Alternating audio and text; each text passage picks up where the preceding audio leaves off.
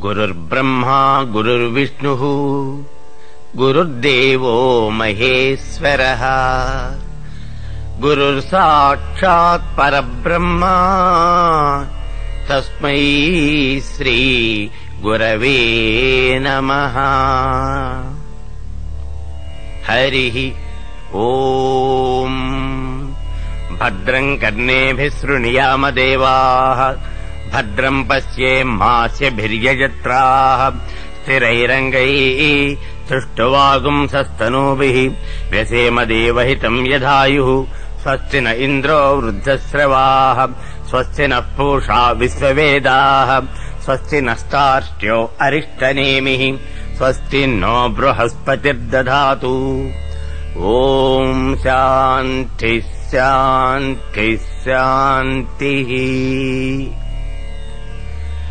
పూజనీయులైనటువంటి ఓ దేవతలారా మేము మా చెవులతో మంచిని వినిదముగాక మా కనులతో శుభప్రదములైనటువంటి యజ్ఞ కర్మలనే చూసేదముగాక ఆరోగ్యముతో దృఢమైనటువంటి బలమైనటువంటి అవయవములు కలిగి మీ స్తోత్రాలను మాత్రమే గానం చేస్తూ దేవదత్తమైనటువంటి ఆయువును పూర్తిగా పొందెదముగాక.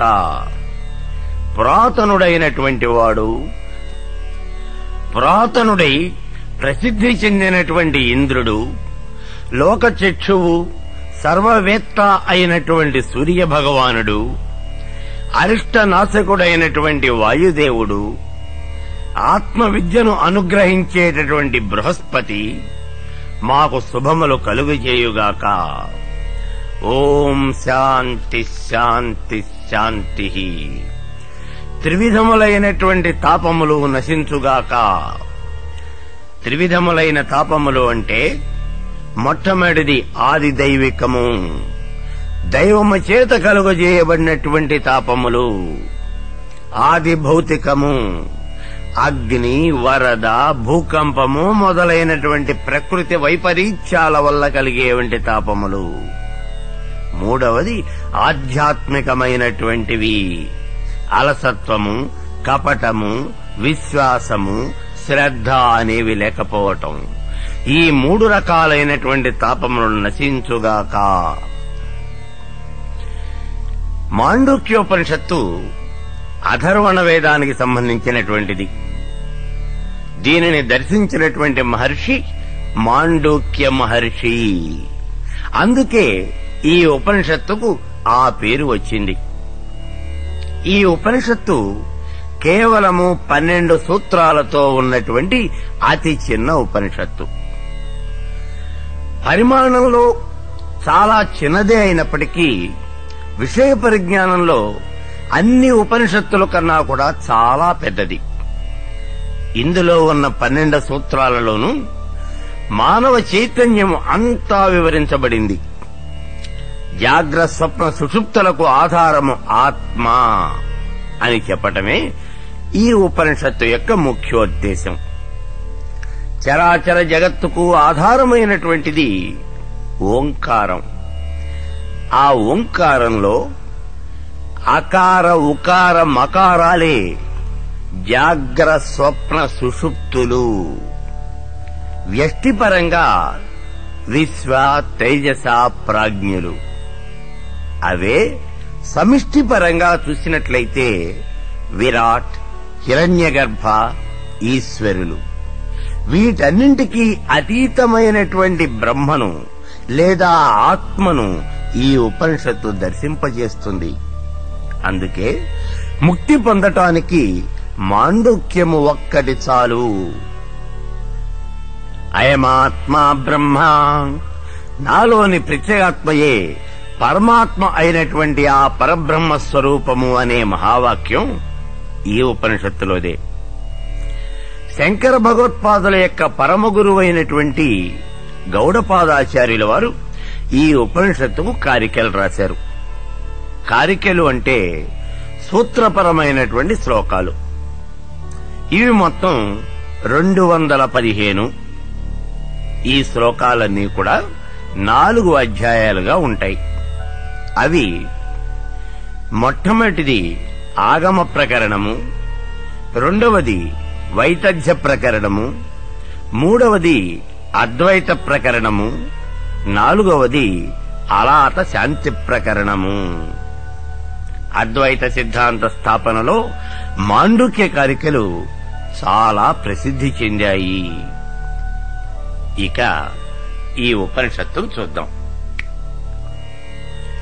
ఓమిచ్చేతదక్షరమిదగం సర్వం తస్యోపవ్యాఖ్యానం భూతం భవద్భవిష్యదితి సర్వమోంకార ఏవ యచ్చాన్యతో త్రిలోకాతీతం తదస్యోంకారమేవ. కంటికి కనిపించే వంటి చరాచర జగత్తు అంతా కూడా ఓంకార స్వరూపమే. భూత భవిష్యత్ వర్తమాన కాలాలలో ఉన్నదంతా కూడా ఓంకార స్వరూపమే. ఈ మూడింటిని అతిక్రమించినటువంటిది ఏదైనా ఉన్నట్లయితే అది కూడా ఓంకార స్వరూపమే. అది హిమాలయ పర్వత ప్రాంతం. చుట్టూరా ఎత్తైన కొండలు లోయలు గలగలా పారే గంగా నది ప్రవాహం. ఆ నది ఒడ్డున గురువుగారి ఆశ్రమం. బ్రహ్మ విద్యా జిజ్ఞాసువైనటువంటి శిష్యుడు బ్రహ్మవేత్త అయినటువంటి గురువు గారికి ఎదురుకుండా కూర్చొని ఉన్నాడు. ఈ శిష్యుణ్ణి అనుమానం పట్టి పీడిస్తూ ఉన్నది. చరాచర జగత్తు అంతా నడుస్తున్నది కదా. ఈ జగత్తుకు మూల కారణం ఏమిటి? నానాత్వ విశిష్టమైనటువంటి ఈ ప్రపంచం వెనుక సత్యతత్వం అనేది ఏదైనా ఉన్నదా? ఇది ఆ శిష్యుడికి వచ్చినటువంటి అనుమానం. ఇదే ప్రశ్నను గురువుగారి ముందు ఉంచాడు. ఇప్పుడు గురువుగారు ఆయనకి సమాధానం చెబుతూ ఉన్నాడు. ఓమిచ్చేతదక్షరమిదగం సర్వం. శిష్యుడికి వివరిస్తూ ఉన్నాడు ఓమిచ్చేకాక్షరం బ్రహ్మ. ఓంకారం అనేవంటి అక్షరం ఈ జగత్తు అంతా నిండి ఉన్నది నాయనా అన్నాడు గురువుగారు. ఆ మాట వినగానే ఆశ్చర్యపోయాడు శిష్యుడు. చరాచర జగత్తు అంటే సామాన్యమైనటువంటిది కాదే? కొన్ని వేల లక్షల కోట్ల కోటాను కోట్ల మైళ్ళ దూరం ఆక్రమించి ఉన్నది. ఇందులో బోలెడన్ని అడవులు కొండలు కోనలు నదులు సముద్రాలు మహాపట్టణాలు ఉన్నాయి. అనేక రాజ్యాలు ఉన్నాయి. బోలెడు మంది రాజులు ఉన్నారు. ఇంతమందితో కూడి ఉన్నటువంటి ఈ జగత్తును ఓంకారము అనేవంటి అక్షరం ఆక్రమించి ఉన్నదా? చాలా ఆశ్చర్యంగా ఉంది అనుకుంటూ గురువుగారి ముఖంలోకి చూశాడు శిష్యుడు. శిష్యుడి యొక్క ఆలోచన అర్థమైంది గురువుగారికి. అందుకే చెబుతూ ఉన్నాడు తస్యోపవ్యాఖ్యానం. ఆ విషయం మీద వ్యాఖ్యానం చేస్తూ ఉన్నాడు. ఓంకారము ఈ చరాచర జగత్తు అంతటినీ కూడా ఏ రకంగా వ్యాపించి ఉన్నది అనేవంటి విషయాన్ని వ్యాఖ్యానిస్తూ ఉన్నాడు గురువుగారు. కొన్ని వేల కుండలు తయారు చేసినప్పటికీ ఆ కుండల అన్నింటికీ కూడా మూలమైనటువంటిది మట్టి. అలాగే దృశ్యమానమైనటువంటి కనిపించేటటువంటి ఈ ప్రపంచానికి శాశ్వతమైనటువంటి ఒక దివ్య శక్తి మూలమై ఉన్నదయ్యా. ఆ కుండలన్నీ మట్టిలోనే పుట్టి మట్టిలోనే పెరిగి మళ్ళీ మట్టిలోనే కలిసిపోతాయి. అలాగే ఈ ప్రపంచం కూడా పరమేశ్వరుని యొక్క కృపతోనే సృష్టించబడింది. పరమేశ్వరుని వల్లనే రక్షించబడుతూ ఉన్నది. చివరకు ఆ పరమేశ్వరుని ఎందే లీనమైపోతూ ఉన్నది. ఈ రకంగా సృష్టి స్థితి లయాలకు ఆధారమైనటువంటి సర్వవ్యాపి శుద్ధ చైతన్యము అనేది ఉన్నదే అదే ఓంకారము. ప్రపంచాన్ని ఒక శబ్దం ద్వారా గనక సూచించినట్లయితే ఆ శబ్దమే ఓంకారము. ప్రతి వస్తువుకు కూడా ఒక రూపం ఉంటుంది. ఆ రూపానికి ఒక పేరు ఉంటుంది. జగత్తు అనే పరబ్రహ్మకు నామమే ఓంకారము. భూతం భవద్భవిష్యదితి సర్వమోంకార ఏవా భూత భవిష్యద్ వర్తమాన కాలాలు కూడా ఓంకారమే. త్రికాలాతీతమైనది ఏదైనా గనక ఉన్నట్లయితే అది కూడా ఓంకారమే. ఇది సమస్త కాలాలకు జగత్తుకు కూడా ప్రతీక. పరమేశ్వరుని యొక్క దృశ్య రూపం ఈ చరాచర జగత్తు అయినట్లయితే శబ్దము ఓంకారమవుతుంది. ఇక్కడ అనుమానం వచ్చింది శిష్యుడికి. పరమేశ్వరుడు త్రికాలములకు ప్రతీక. అంతేకాని కాలాతీతమైనటువంటి దానితో ఆయనకి సంబంధం ఏమిటి? పరమేశ్వరుడు పరిమితమైనటువంటి దానికి అపరిమితమైనటువంటి దానికి కూడా ప్రతీక. అందుచేతనే అతడు త్రికాలములకు కాలాతీతమైనటువంటి వాటికి కూడా ప్రతీక. కాలజ్ఞానము మనస్సు యొక్క ఇంద్రజాలము. మనస్సు గనక లేకపోయినట్లయితే కాలము అనేది ఉండదు. ఆ మనస్సు జడము అచేతనమైనటువంటిది. అటువంటి అచేతనమైనటువంటి మనస్సు జీవం పొందినట్లయితే చేతనమవుతుంది. అంటే జీవం పొందినప్పుడు మనస్సు చెలిస్తుంది. చలనవంతమవుతుంది. కాబట్టి త్రికాలాతీతమైనది ఆ దివ్య చైతన్యం తప్ప వేరే ఇంకేదీ కూడా లేదు. దానివల్లనే ఈ శరీరంలోని మనస్సు బుద్ధి అన్నీ కూడా పనిచేయగలుగుతూ ఉన్నాయి.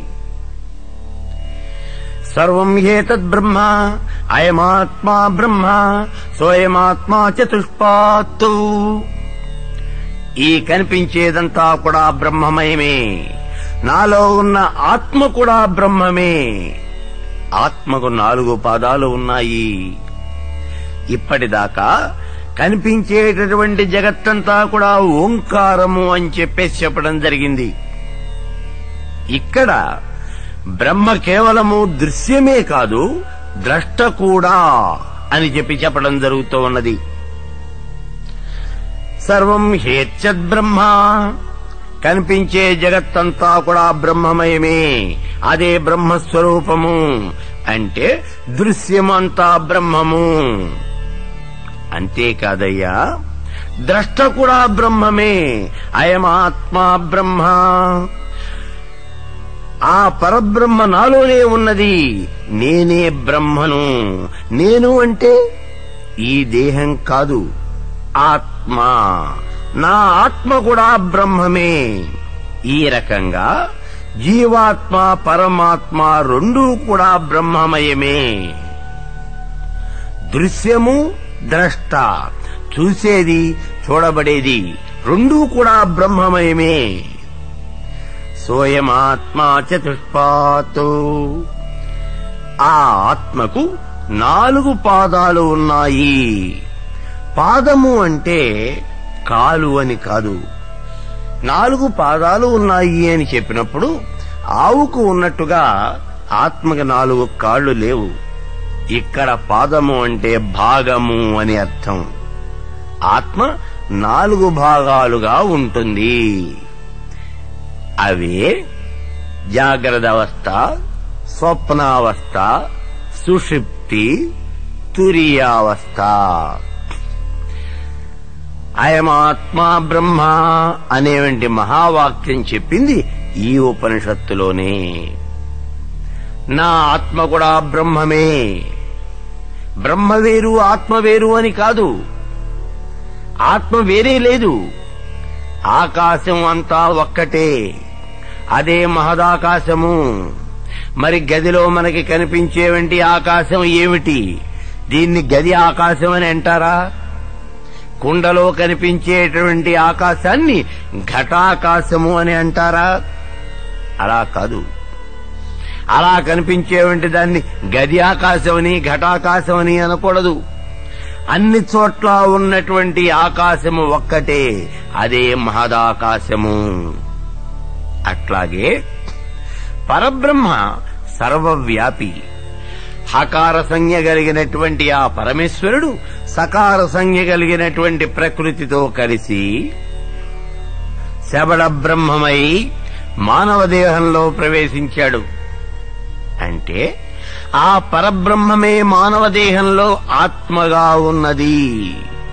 అందుచేత ఆత్మ పరమాత్మ ఈ రెండూ కూడా ఒక్కటే.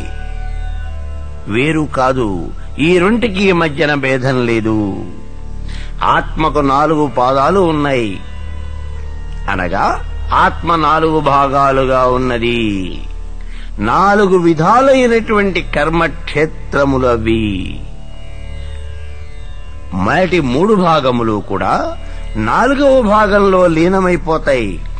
అయినప్పటికీ ఈ ఆత్మ నాలుగు చోట్ల నాలుగు రకాలుగానే ఉంటుంది. అది ఎలా ఉంటుంది అంటే నాలుగు పావలాలు ఉన్నాయి. విడివిడిగా గనక చూసినట్లయితే ఒక్కొక్కటి పావలా అని పిలువబడుతుంది. రెండు పావలాలు గనక కలిసినట్లయితే అర్ధ రూపాయి మూడు పావలాలు గనక కలిసినట్లయితే ముప్పావలా. ఇప్పుడు దీనికి నాలుగో పావలా గనక కలిసినట్లయితే దీని విలువ మారిపోతుంది. దాని పేరు మారిపోతుంది. ఇది రూపాయి అవుతుంది. మరి ఇందాకటి దాకా చూసినవంటి పావలాలన్నీ ఏమైపోయినాయి? అన్నీ కూడా ఈ రూపాయిలో కలిసిపోయినాయి. ఆ నాలుగు పావలాలు కలిస్తేనే వచ్చేవంటి విలువదై రూపాయి. ఈ రూపాయిలోనే అన్నీ ఉన్నాయి. అలాగే జాగ్ర స్వప్న సుషుప్తి అనబడేవంటి మూడు అవస్థలు కూడా తురియావస్థలో కలిసిపోయి దానికి పూర్ణత్వాన్ని చేకూరుస్తూ ఉన్నాయి. మరి ఆ పాదాలు ఏ రకంగా ఉంటాయి అంటే మొట్టమొదటి పాదాన్ని గురించి వివరిస్తూ ఉన్నాడు. జాగరిత స్థానో బహిప్రజ్ఞ సప్తాంగ ఏకోన వింశతి ముఖ స్థూలభుగ్ వైశ్వానర ప్రథమ పాద ఆత్మ యొక్క మొట్టమొదటి పాదం వైశ్వానరుడు. వైశ్వానరుడు అంటే విశ్వంలో ఉన్నటువంటి నరులు అందరికీ కూడా ప్రతినిధి. స్థూలమైనటువంటి శరీరము ఎవరికైతే ఉన్నదో వారందరికీ కూడా ప్రతినిధి. స్థూల శరీరము అంటే ఏమిటి? నవధాతురయం దేహో నవయోని సమద్భవ. ఈ శరీరము తొమ్మిది ధాతువుల చేత నిర్మించబడింది. ఏమిటి ఆ తొమ్మిది ధాతువులు? త్వక్సృగ్మాంస మేధోస్థిధాతవ శక్తి మూలకా ఇందులో చర్మము రక్తము మాంసము మెదడు ఎముకలు అనబడేంటి ఈ ఐదు కూడా శక్తి మూలకాలు కాగా మజ్జ శుక్ల ప్రాణ జీవదాతవ శివమూలకా. మజ్జ శుక్లము ప్రాణము జీవము అనేవంటి నాలుగు కూడా శివధాతువులు. నవధాతురైన దేహో నవయోని సముద్భవ ఈ తొమ్మిది ధాతువుల చేతనే తొమ్మిది రంధ్రములు కలిగినటువంటి ఈ శరీరము నవరంధ్రములు కలిగినటువంటి ఈ శరీరమంతా కూడా ఉద్భవించింది. శంకర భగవత్పాదుల వారు తమ యొక్క వివేక చూడామణిలో ఈ స్థూల శరీరాన్ని గురించి వివరిస్తూ మజ్జాస్థిమేధ మల రక్త చర్మ త్వగాహ్యాయై ధాతు బిరేభిరన్వితం. పాద ఊరు వక్ష భుజ పృష్ట మస్తకై అంగై ఉపాంగై ఉపయుక్తమేతూ అహమ్మమేతి ప్రయతం శరీరం యోహాస్పదం స్థూలమితీర్యతే బుధై అన్నారు.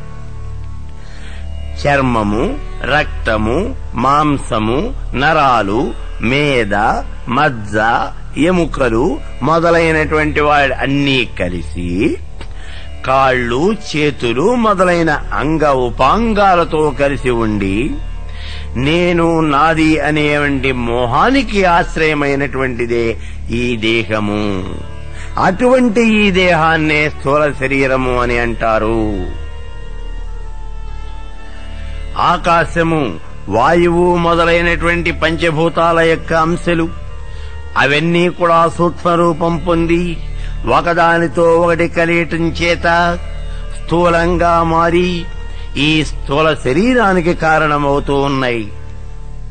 తన్మాత్రలే భోక్త అయినటువంటి జీవుని యొక్క అనుభవం కోసం శబ్ద స్పర్శ రూప రసగంధాలు అనేవంటి విషయాలు అవుతూ ఉన్నాయి. భోగాలు అనుభవించటానికి ఈ దేహమే ఆధారమైంది. జీవి ఈ శరీరంతోనే సుఖదుఖాలు అన్నీ కూడా అనుభవిస్తాడు. స్థూల శరీరం ఎప్పుడూ కూడా జాగ్రత్తావస్థలోనే అనుభవం పొందుతుంది. మిగిలినటువంటి అవస్థలు ఏవీ దైనికి తెలియవు. గృహస్థుకు గృహంలాగా జీవికి ఈ దేహం ఆవాసమై ఉన్నది.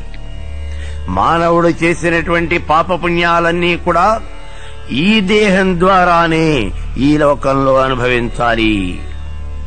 జనన మరణాలు రోగము ముసలితనము ఇవన్నీ కూడా ఈ శరీరానికి సంబంధించినవే. బాల్య యవ్వన కౌమారాది దశలు అన్నీ కూడా ఈ శరీరానివే. బ్రహ్మచర్యము గృహస్థాశ్రమము వానప్రస్థము సన్యాసము మొదలైనటువంటి వర్ణాశ్రమ ధర్మాలు అన్నీ కూడా ఈ శరీరానికే. మానవమానాలు అన్నీ కూడా ఈ దేహానికే చెందుతాయి. జగత్తులో ఇటువంటి స్థూల దేహాలకి ప్రతినిధి వైశ్వానరుడు. జాగ్రత్త అవస్థ ఇతని యొక్క సంచార స్థానం బాహ్య విషయ ప్రపంచాన్ని ఇతడు అనుభవిస్తూ ఉంటాడు. ఇతనికి తెలిసిన ఆనందం కేవలము భౌతికమైనటువంటిది ప్రాపంచికమైనటువంటిది అనగా శబ్ద స్పర్శ రూపరస గంధాలకు చెందినటువంటి విషయాలను మాత్రమే వాటికి సంబంధించినటువంటి విషయాలను మాత్రమే ఇతడు అనుభవించగలడు. ఇతడికి సప్తాంగ ఏకోన వింశతి ముఖ ఏడు అంగములు పంతొమ్మిది నోళ్ళు ఉన్నాయి. ఈ సప్తాంగములు ఏమిటి? స్వరము శిరస్సు సూర్యుడు కన్ను.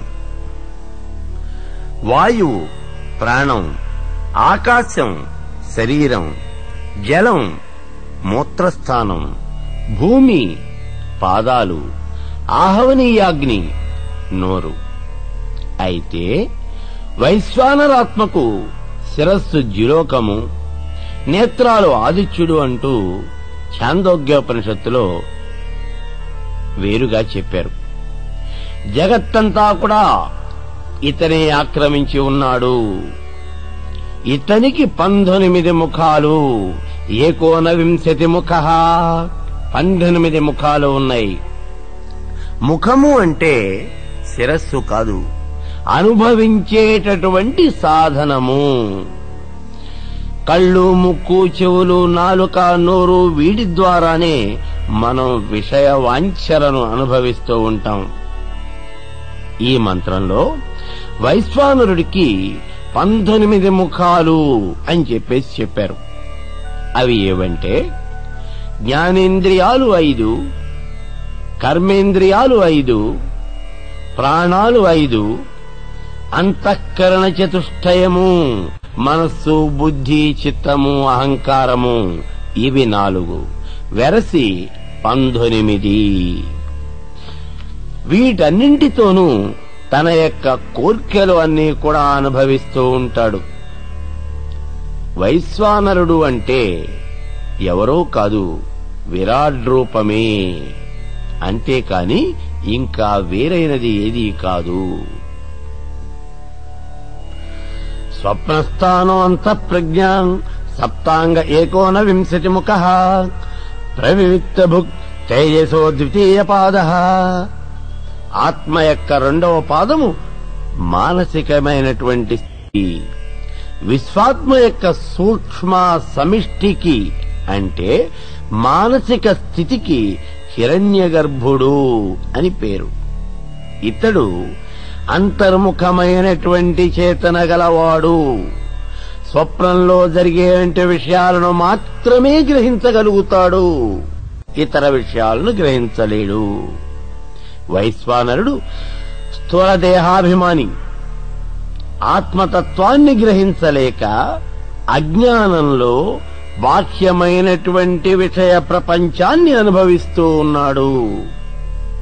అదే జీవి బాహ్య ప్రపంచాన్నించి విరమించుకొని సూక్ష్మ శరీరాభిమాని గనక అయినట్లయితే తేజసుడు అని పిలువబడుతూ ఉన్నాడు. స్వప్నంలో ఉన్నప్పుడు స్వప్నం చూసేవంటి వాడికి అది నిజంగా జరుగుతున్నట్టే అనిపిస్తుంది. రకరకాల వస్తు సముదాయాన్ని పొందుతూ ఉంటాడు. ఎనలేని ఆనందాన్ని పొందుతూ ఉంటాడు. అనేక చోట్ల విహరిస్తాడు. స్వప్నంలో కొన్నిసార్లు భయపడతాడు. కొన్నిసార్లు దుఃఖిస్తాడు. కొన్నిసార్లు అనిర్వచనీయమైనటువంటి ఆనందాన్ని పొందుతాడు. ఈ రకంగా జాగ్రత్త అవస్థలో కలిగేటటువంటి అనుభవాలు అన్నీ స్వప్నావస్థలో కూడా పొందుతాడు. ఈ విషయాలను తైజసుడు స్వప్నంలో మాత్రమే అనుభవించగలుగుతాడు. అందులో మాత్రమే అనుభవిస్తాడు. ఈ రకంగా తైజసుడు సూక్ష్మ ప్రపంచగ్రాహి. మరి ఇతనికి ఇతనికి కూడా సప్తాంగో ఏకోన వింశతి ముఖ. వైశ్వానరుడికి ఉన్నట్టుగానే ఇతనికి కూడా ఏడు అంగములు. ఇందాక చెప్పినట్టే శిరస్సు కన్ను ప్రాణము శరీరము మూత్రస్థానము పాదాలు నోరు ఇవి ఏడు కూడా అంగములు సప్తాంగములు. ఏకోన వింశతి ముఖ. పంతొమ్మిది ముఖాలు జ్ఞానేంద్రియాలు ఐదు కర్మేంద్రియాలు ఐదు ప్రాణాలు ఐదు అంతఃకరణ చతుష్టయం నాలుగు. వెరసి పంతొమ్మిది విశ్వ తేజస్సులు ఇద్దరూ కూడా మనలో ఉన్నటువంటి ఆత్మ యొక్క అంశాలే. అయినప్పటికీ శుద్ధ చైతన్యము స్థూలదేహాభిమాని గనక అయినట్లయితే వైశ్వానరుడు అని చెప్పేసి పిలువబడుతూ ఉన్నది. అలా కాకుండా ఆశుద్ధ చైతన్యమే సూక్ష్మదేహాభిమాని గనక అయినట్లయితే తేజసుడు అని పిలువబడుతూ ఉన్నది. ఎత్ర సుప్తోన కంచన కామం కామైతేన కంచన స్వప్నం వశ్యతి తత్సుషుప్తం సుషుప్త. స్థాన ఏకీభూత ప్రజ్ఞానఘన ఏవానందమయోక్ష్యానంద భుక్చేతో ముఖ ప్రాజ్ఞస్తుతీయ పాద నిద్రించినప్పుడు ఏ కోరికలు కలలు లేనటువంటి స్థితి సుషుప్తి అదే గాఢ నిద్ర ప్రాజ్ఞుడు సుషుప్తిని సంచార స్థానంగా పొంది ఉన్నాడు. సుషుప్తి స్థానంలోనే సంచరిస్తూ ఉంటాడు. ఇక్కడ అన్ని రకాలైనటువంటి అనుభవాలు కూడా ఏకమైపోతాయి. అనగా జాగ్రత్త అవస్థ స్వప్నావస్థలలో ఉండినటువంటి అనుభవాలన్నీ కూడా పూర్తిగా కరిగిపోతాయి. అంతేగాని అవి మాత్రం నశించవు. ఆ అనుభవాలకు ప్రత్యేకత అనేది ఏమీ కూడా లేదు. చేతనాశక్తి అంటే ఇక్కడ గ్రహణ శక్తి అది అస్పష్టంగా నిలిచిపోతుంది. అతని యొక్క గతించిన అనుభవాలన్నీ కూడా అతనిలో ఎక్కడో లోపల నిలిచిపోతాయి. అతడిలో చైతన్యం చాలా అస్పష్టంగా ఉంటుంది. అది ఎంత అస్పష్టంగా ఉంటుంది అంటే అసలు అతను చేతనుడా అచేతనుడా అని కూడా అనుమానం వస్తుంది. ఇంకా విపులంగా చెప్పాలి అంటే అతనికి ప్రాణము ఉన్నదా లేదా అనే వంటి అనుమానం కలుగుతుంది. ఆ స్థితిలో అతడు ఆనందమయుడై ఆనందాన్ని అనుభవిస్తూ ఉంటాడు. ఈ ఆనందం స్తబ్దమైనటువంటిది తమ ప్రభావమైనటువంటిది సత్వప్రధానము ఇంద్రియాతీతము అయినటువంటి సమాధి స్థితిలో పొందేటటువంటి ఆనందం కన్నా భిన్నమైనటువంటిది. ఆ స్థితిలో ఉండేటటువంటి వాడే ప్రాజ్ఞుడు. ఇది ఆత్మ యొక్క మూడవ పాదము. ఏష సర్వేశ్వర ఏష సర్వజ్ఞ ఏషోంతర్యామ్యేషయోని సర్వస్య ప్రభావాప్యయో హి భూతానాం. ఈ ప్రాజ్ఞుడే అన్నింటికీ ప్రభువు. సర్వము తెలిసినటువంటి వాడు అంతర్యామి నియామకుడు. సర్వేశ్వరుడు సమస్త జగత్తును సృష్టించినట్లే ప్రాజ్ఞుడు స్వప్న జగత్తును జాగ్రత్త అవస్థలోని జగత్తును కూడా సృష్టిస్తూ ఉన్నాడు. ఈ రెండు జగత్తులు కూడా సుషుప్తిలో లయమైపోతాయి. గౌడపాదుల వారు ఈ ఉపనిషత్తుకు ఇక్కడ నుండి కారికలు రాశారు. కారిక అంటే సూత్రాలతో వివరించే వంటి శ్లోకము అని అర్థం. బహిష్ప్రజ్ఞోభిహరు విశ్వో అంత ప్రజ్ఞస్థుత సహ ఘన ప్రజ్ఞాస్తథా ప్రాజ్ఞ ఏక ఏ స్మృత ఇది గౌడపాదుల వారి కారికలలో మొట్టమొదటి శ్లోకం. విశ్వడు బహిప్రజ్ఞ గలవాడు సర్వవ్యాపి. తేజస్సుడు అంతఃప్రజ్ఞ కలిగినటువంటి వాడు. ప్రాజ్ఞుడు ఘనప్రజ్ఞుడు. ఈ విధంగా ఒకే ఆత్మ మూడు రకాలుగా ఉన్నది. దక్షిణాక్షముఖే విశ్వో మనస్యంతస్థు తైజస. ఆకేశ చ హృది ప్రాజ్ఞ శ్రిధా దేహ వ్యవస్థిత. విశ్వడు కుడికన్ను నుండి తేజస్సుడు మనస్సు నుండి ప్రాజ్ఞుడు హృదయాకాశము నుండి వ్యవహరిస్తూ ఉన్నారు. ఈ విధంగా ఒకే ఆత్మ మూడు భాగాలుగా విభజించబడి మూడు స్థానముల నుండి కూడా వ్యవహరించబడుతూ ఉన్నది. విశ్వడు జాగ్రత్త అవస్థలో బాహ్య ప్రపంచాన్ని అనుభవిస్తూ ఉన్నాడు. ఇంద్రియాల ద్వారా బాహ్య విషయాలను గ్రహించి అనుభవిస్తూ ఉన్నాడు. అయితే విశ్వడు ప్రత్యేకించి ఏ స్థానంలో ఉన్నాడు? అంటే దక్షిణాక్షి. అంటున్నారు గౌడపాదుల వారు. ఎందుచేతనంటే సర్వేంద్రియాణం నయనం ప్రధానం. అన్ని అవయవాలలోకి కూడా ముఖ్యమైనటువంటిది కన్ను. కళ్ళకు ఉన్నటువంటి శక్తి మరి ఏ ఇతర ఇంద్రియాలకు కూడా లేదు. కంటితో చూసి ఆనందించినంతగా చూడకుండా ఆ వస్తువుని గురించి ఆనందం పొందలేము. కళ్ళలో కూడా కుడికన్నే ప్రధానమైనది. అందుకే విశ్వని యొక్క స్థానం కుడికన్ను అంటున్నారు గౌడపాదుల వారు దక్షిణాక్షముఖే విశ్వో అని చెప్పేసి చెప్పారు. ఇక విశ్వో హి భంగ్యత్వం తేజస ప్రవివ్యక్త ఆనంద భుక్తధా ప్రాజ్ఞ త్రిధా భోగం నిబోధత. వైశ్వానరుడు స్థూల విషయాలను తేజస్సుడు సూక్ష్మ విషయ ప్రపంచాన్ని ప్రాజ్ఞుడు ఆనందాన్ని అనుభవిస్తూ ఉన్నారు. ఈ విధంగా గౌడపాదుల వారు తమ కారికలలోని మొట్టమొదటి ఇరవై తొమ్మిది శ్లోకాలలోనూ కూడా ఈ ఉపనిషత్తును వివరించడం జరిగింది. నాంత ప్రజ్ఞం న బహిప్రజ్ఞం నోభయత ప్రజ్ఞం న ప్రజ్ఞానగణం న ప్రజ్ఞం నా ప్రజ్ఞం అదృష్టం వ్యవహార్యమగ్రాహ్య మలక్షణమచించమవ్యపదేశ్యమేకాత్మ ప్రత్యయసారం ప్రపంచోపశమం శాంతం శివమద్వైతం చతుర్థం మన్యంతే స ఆత్మా స విజ్ఞేయ ఇప్పటి వరకు స్వప్న సుషుప్తులు అనబడే వంటి ఆత్మ యొక్క మూడు పాదాలను వివరించడం జరిగింది. ఇక నాలుగవ పాదాన్ని చెబుతూ ఉన్నాడు. ఇది తురీయము. మిగిలినటువంటి మూడు పాదాలలాగా ఇది ఒక అవస్థ కాదు. అన్ని అవస్థలలోని మొత్తం తత్వం ఇదే. జాగ్రత్త స్వప్న సుషుప్తలలో ఉన్నటువంటి తత్వమంతా కూడా ఈ స్థితిలోనే ఉన్నది.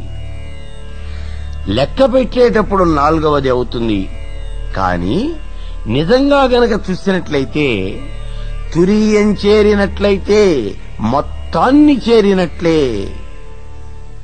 చిల్లర లెక్క పెట్టేటప్పుడు ఇందాక మూడు పావలాల వరకే ఆ పావలాలకు విడివిడిగా విలువ ఉంటుంది అని చెప్పేసి చెప్పాం. ఎప్పుడైతే నాలుగవ పావలా వచ్చి దాంట్లో చేరిందో అప్పుడు దాని విలువ కాస్త మారిపోయి రూపాయి అయింది. ఇప్పుడు నాలుగు పావలాలు కూడా అందులోనే ఉన్నాయి. అలాగే జాగ్రత్త స్వప్న సుషుప్తులు విడివిడిగా చూసినట్లయితేనే మూడు అవస్థలు. ఆ మూడు ఎప్పుడైతే నాలుగవ దానితో చేరాయో అవి విడిగా లెక్కించబడవు. ఇది ఒక్కటే స్థితి అదే తురీయ స్థితి. నా అంత ప్రజ్ఞం స్వప్నావస్థలో లేదా తేజస్సుతో పోల్చి చూసినప్పుడు ఇది అంతరమైనటువంటి చేతన మాత్రం కాదు. నవహి ప్రజ్ఞం. జాగ్రత్తావస్థ. లేదా వైశ్వానరుడితో పోల్చి చూసినప్పుడు ఇది బాహ్యమైనటువంటి చేతన అంతకన్నా కాదు. మరి ఏమిటి? నభయత ప్రజ్ఞం. ఈ రెండింటి యొక్క కలయిక లేక మధ్య స్థితి అంతకన్నా కాదు. సుషుప్తితో గనక పోల్చి చూసినట్లయితే అస్పష్టమైనటువంటి చేతన అంతకన్నా కాదు. చేతన రాహిత్యంతో గనక పోల్చి చూసినట్లయితే అచేతన కాదు. జ్ఞాన సాధనాలైనటువంటి ప్రత్యక్ష అనుమాన ప్రమాణాల ద్వారా దాది కనిపించదు. దీనికి ఇంకొక దాంతో సంబంధం పెట్టి చెప్పటానికి వీలు లేదు. దాన్ని మనస్సు గ్రహించలేదు.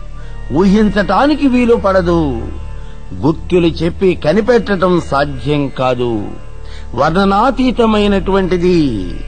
జాగ్ర స్వప్న సుషుప్తులు మూడింటికి సామాన్యమైనటువంటి ఒకే ఆత్మతత్వం సారమది. ఆత్మతత్వాన్ని తెలుసుకుంటేనే తురీయం తెలుస్తుంది. అది ఎప్పుడు జరుగుతుంది? సర్వోత్కృష్టమైనటువంటి సమాధిలో చింతన పరాకాష్ఠనందుకున్నప్పుడు మాత్రమే ఈ తురీయ స్థితి తెలుస్తుంది. సమాధి స్థితిని చేరినటువంటి వాడు ఈ మూడు అవస్థలలో కూడా తురీయాన్ని గుర్తించగలడు. అన్ని వికారాలు తురీయంలో ఆగిపోతాయి. శాంతం శివమద్వైతం. అదే శాంతం. తురీయమంటే శాంతి స్వరూపము ఆనంద స్వరూపము ఇవి తురియానికి ఉన్నటువంటి గుణాలు కాదు స్వరూపం మాత్రమే. ఇది అద్వైత స్థానము. జీవాత్మ పరమాత్మలు రెండూ కూడా ఏకమయ్యేటటువంటి చోటు. స్వయమాత్మాధ్యక్షరమోంకారోది మాత్రం పాదా మాత్ర మాత్రాచ పాద అకార ఉకారమకారో ఇది ఈ ఆత్మను ఓం అనే ఒక శబ్దంగా గనక చెప్పినట్లయితే అంటే ఇప్పటి వరకు చెప్పినటువంటి పాదాలన్నింటినీ కూడా గుర్తించకుండా ఆత్మ మొత్తాన్ని తీసుకుని సాధారణమైనటువంటి భాషలో ఓం అని గనక చెప్పినట్లయితే ఓంకారము యొక్క మాత్రలు అందులో ఉన్నటువంటి భాగాలు అయినటువంటి అకార ఉకార ముకారాలను వివక్షత లేకుండా ఒకే శబ్దంగా తీసుకోవాలి. అకార ఉకార మకారాలన్నీ కూడా విడగొట్టకుండా ఒకే అక్షరంగా కలిపి తీసుకోవాలి. అప్పుడు ఆత్మకు ఓంకారంతో తాదాత్మ్యం చెప్పాలి. అది భాగాలతో ఏర్పడినదిగా. అంటే ఓంకారంలో అకార ఉకార మకారాలు ఉన్నాయి అని చెప్పేసి చెప్పినప్పుడు ఆత్మను నాలుగు భాగాలుగా విడకొట్టి నాలుగు పాదాలను కూడా ఈ యొక్క పాదాలతో ఓంకారంలో ఉన్నటువంటి ఆకార ఉకార మకారాలతో తాదాత్మ్యం చేసి చెప్పాలి. అంటే ఆత్మను గనక నాలుగు భాగాలుగా విభజించినట్లయితే ఓంకారాన్ని కూడా విభజించవలసి ఉంటుంది. జాగరితస్థానో వైశ్వానరో అకార ప్రథమా మాత్ర ఆప్తే రాజమత్వాద్వా ఆప్నోతి హ వై సర్వాన్ కామానాదిశ్య భవతి ఏం వేద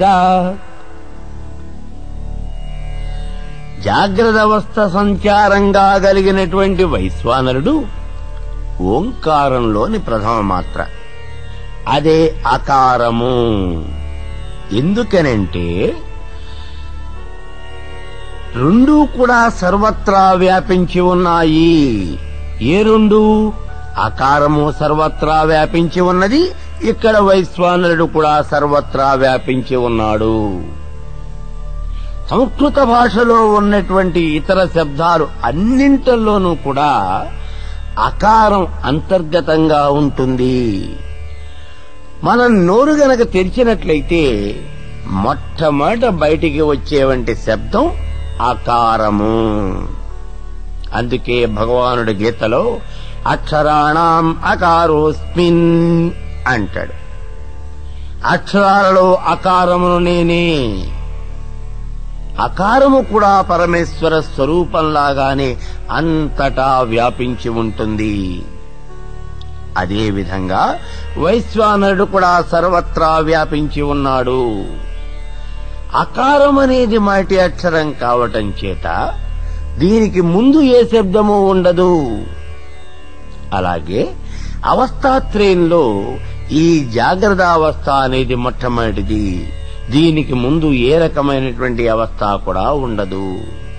ఈ విషయం తెలుసుకున్నటువంటి వాడు కోరిన కోరికలన్నీ కూడా సిద్ధించుకోగలుగుతాడు. కోరినవన్నీ పొందగలుగుతాడు. అందరిలోకి మొట్టమొదటి వాడవుతాడు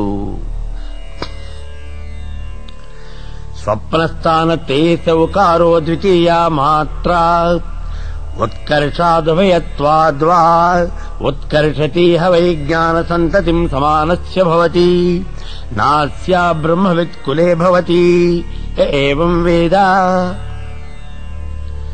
స్వప్నస్థానం సంచారంగా కలిగినటువంటి తేజస్సుడు ఓంకారంలో ఉన్నటువంటి రెండవ మాత్ర అయిన ఉకారము. ఈ రెండు శ్రేష్టమైనవే.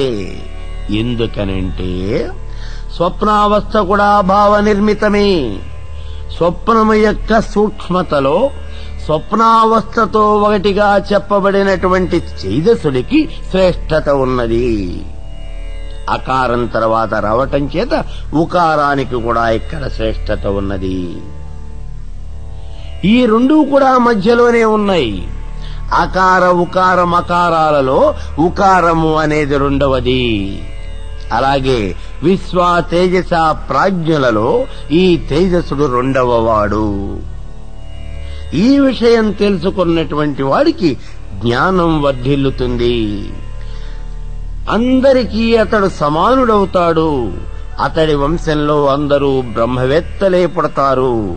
బ్రహ్మవిధుడు కానటువంటి వాడు అతని వంశంలో పుట్టడు. తృతీయ స్థాన ప్రాజ్ఞోమకార తృతీయ మాత్ర మితేరపి తేర్వా మినోతి హవ ఇదం సర్వమపి తుష్య భవతి య ఏవం వేద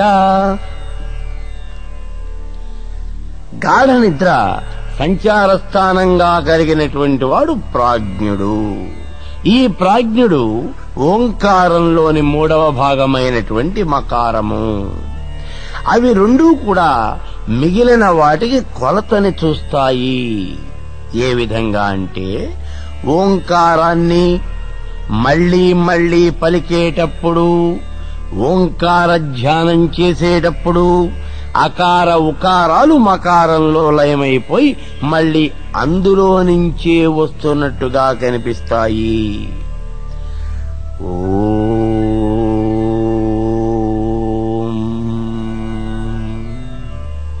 అన్నప్పుడు అకార ఉకారాలు రెండు కూడా మకారంలో లయమైపోయినట్లుగా కనిపిస్తాయి.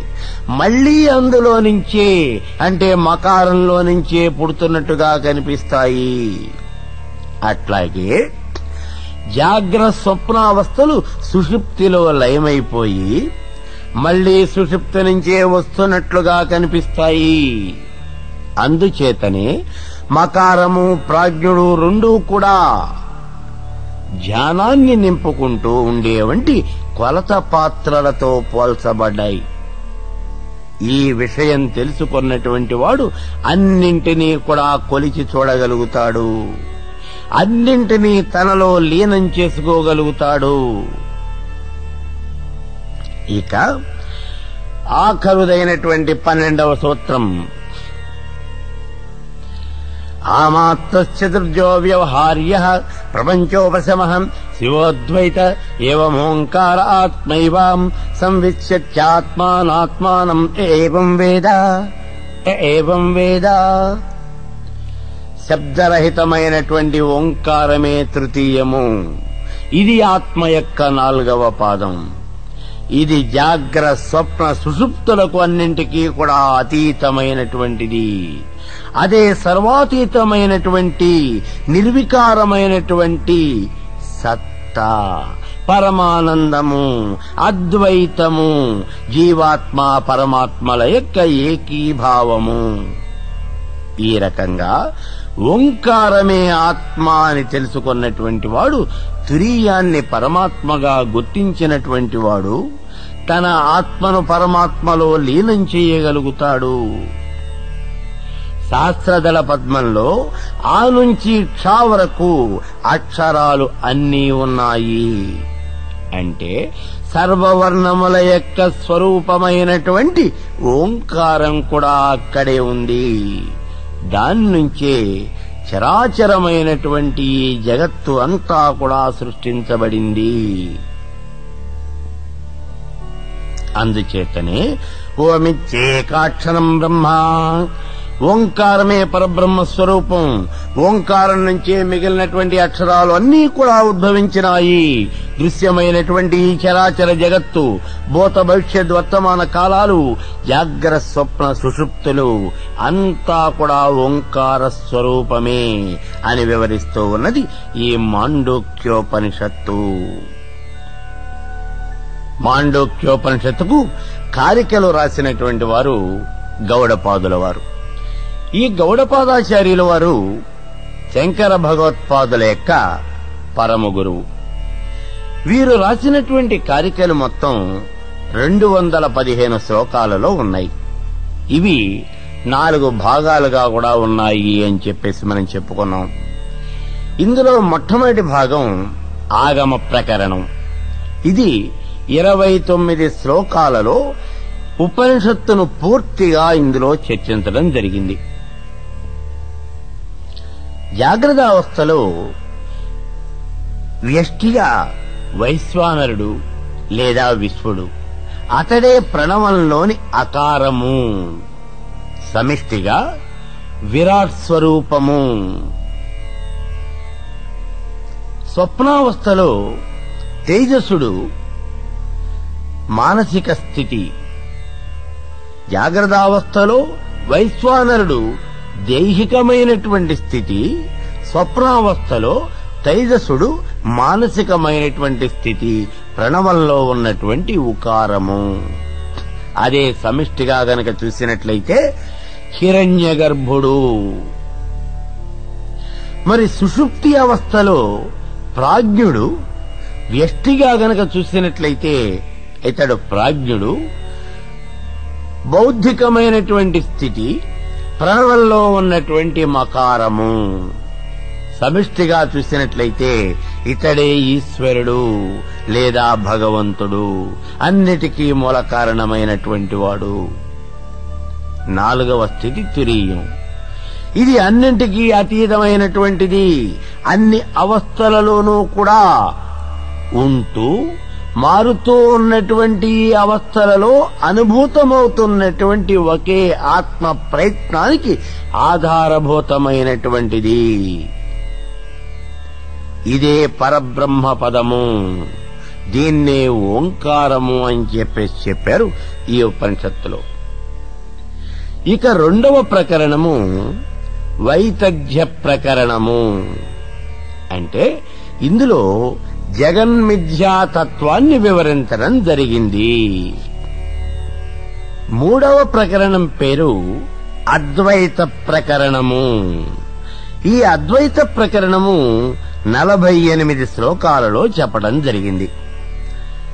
ఇందులో యథార్థ జ్ఞానానికి ప్రమాణాలైనటువంటి ప్రత్యక్షము అనుమానము అయినటువంటి అనుభవాలు అన్నీ కూడా ఇక్కడ విపులంగా చర్చించబడ్డాయి. ఇక నాలుగవది అలాత శాంతి ప్రకరణము. ఇది వంద శ్లోకాల్లో రాయబడింది. అలాతము అంటే మండే కట్టే. ఇది అద్వైత సాక్షాత్కారాన్ని సూచించేవంటి ఒక పదం. మండే కట్టెని గనక మనం చేత్తో పట్టుకుని గిరగిరా తిప్పినట్లయితే అగ్ని జ్వాల అంతా కూడా గుండ్రగా కనిపిస్తూ ఉంటుంది. మన చేతిలో ఉన్నటువంటి కట్టె మాత్రం కనిపించదు కానీ ఈ అగ్ని గుండ్రగా మనకి దర్శనమిస్తుంది. మనం ఈ కట్టెను తిప్పటం గనక ఆపివేసినట్లయితే ఈ అగ్ని జ్వాల ఇలా గుండ్రగా ఉండదు. కట్టె మాత్రమే కనిపిస్తుంది. ఇదే విషయాన్ని ఇక్కడ చర్చిస్తూ చరాచర జగత్తు అంతా కూడా మిథ్య అని చెబుతూ ఇతర మతాలు వారు చేసినటువంటి వ్యాఖ్యలన్నీ కూడా వారి యొక్క వాదనలతోనే వారి వారి ఆక్షేపణలను అన్నింటినీ కూడా కొట్టివేశారు గౌడ పాదాచార్యుల వారు.